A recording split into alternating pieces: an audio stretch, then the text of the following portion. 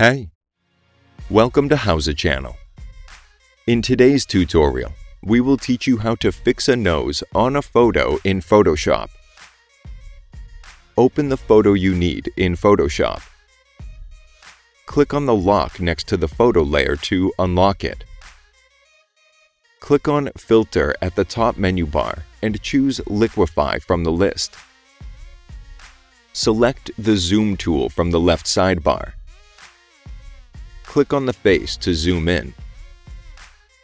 Click on the finger tool at the left sidebar. Click on the nose area you want to fix. Click OK. Select the Dodge tool from the left sidebar. Draw around the nose area. That's it. Thanks for watching the video. Please like it and let us know if you use any of our tips and tricks. Subscribe to our channel.